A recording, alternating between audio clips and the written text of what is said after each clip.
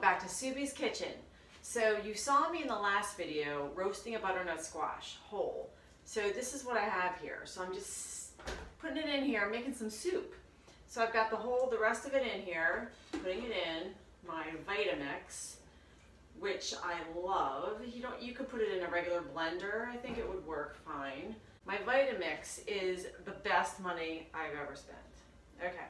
So I'm gonna put in some chicken broth and I have this organic free range chicken broth. So I'm just putting that in.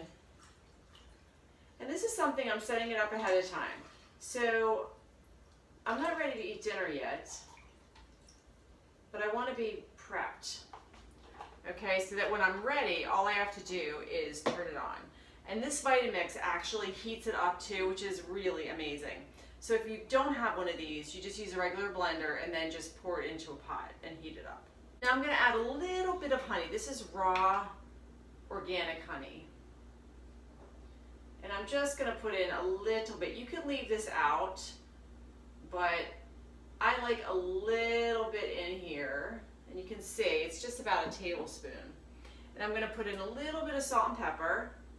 I've got probably about a teaspoon. And then you're going to adjust your seasonings to taste. So this is pepper, regular pepper. So I'm just going to crush some of this up in here. And I like it a little spicy, so I'm putting in some cayenne pepper. This is um, heavy cream and it is grass-fed organic heavy cream. And I'm just putting in about a quarter of a cup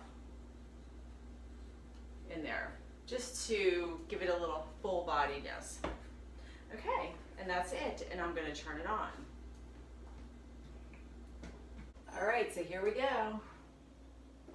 All right, so it is done. I don't know if you can see that steam. It's so good. So I'm gonna pour some in my bowl. It's amazing. The friction heats it up.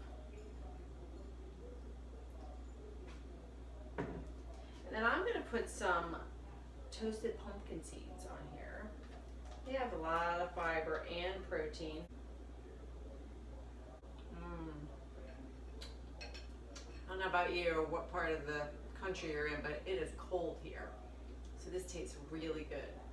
All right, next time on Sue B's Kitchen, like me, share me, and subscribe.